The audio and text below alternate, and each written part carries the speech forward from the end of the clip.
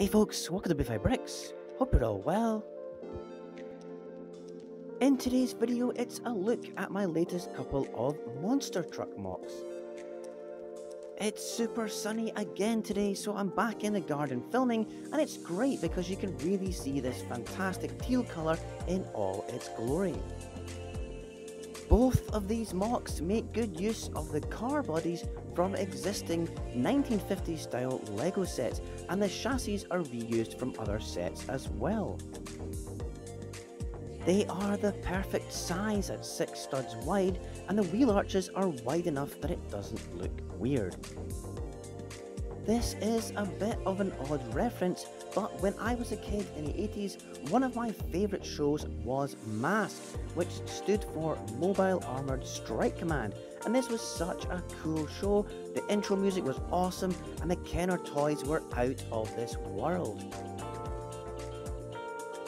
And this was one of the coolest vehicles, it was called Hurricane, and it was a 1950s style Chevy that transformed into this six-wheeled sort of monster truck thing, and I'd love to make a Lego set of this, but actual monster trucks would be just as cool.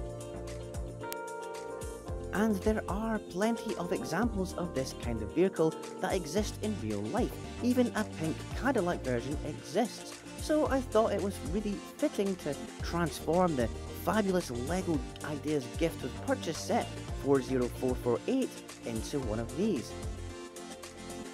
I love the box design with this beach background, this set is really cool, I love it.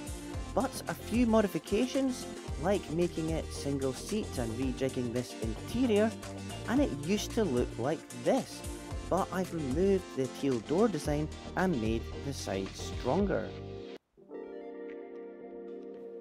If you're familiar with this set, you might be aware of the very frustrating surfboard assembly on the side. It falls off really easily because it's only held on with two studs. Problem solved, I've added an extra row of those side stud pieces and now it's a solid build.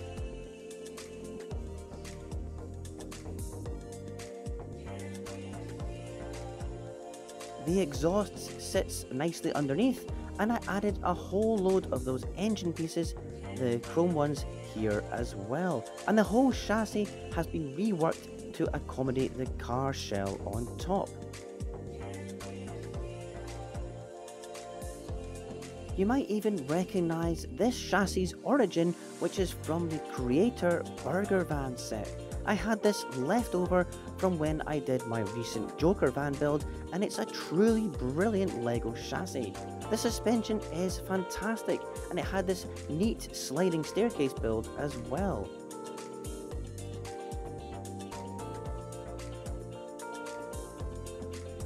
And you know what, that suspension is something that really adds playability to this MOC as well. It's really fun to just drive it about and nudge it along like this. It's so flexible and durable, brilliant. For the second truck, I rebuilt the pink caddy from the 1950s modular diner set and we have this older LEGO City monster truck which has a decent chassis to use for it.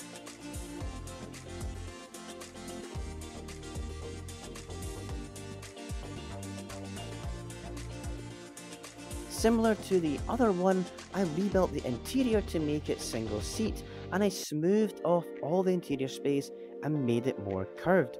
I also put a sloping windshield on it.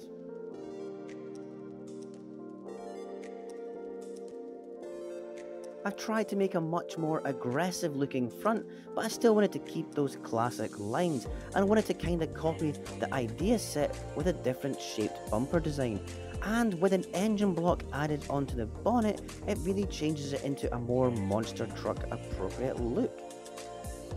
I ended up sticking the exhaust onto the side here instead of underneath, and at an angle like this, it sort of flows into the wings as well, so it kind of looks okay. I elongated the wings and rejigged the whole rear end to look more like a real Cadillac Coupe, Coupe de Ville, or whatever you call it.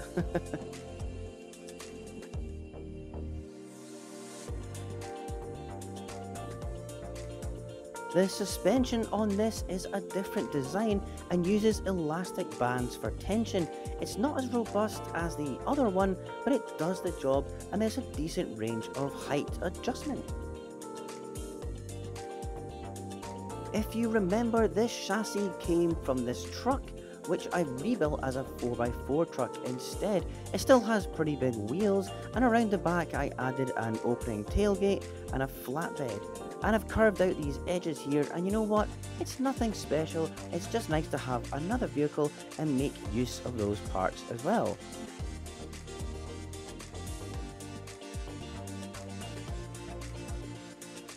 And hey, side by side, they're looking pretty neat.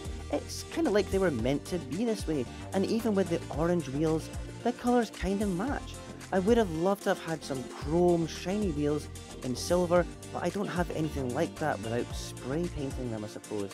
And close up, you can see how similar I got the front to look and the elongated body on the pink one works really well in comparison to the teal one. Overall, even with different chassis designs, they both look like they belong together, and it also reminds me of the Hurricane vehicle from the Mask TV show, which is kinda neat. I'd love to know what you think. Have you made anything similar, especially with that teal idea set? It's a really interesting vehicle.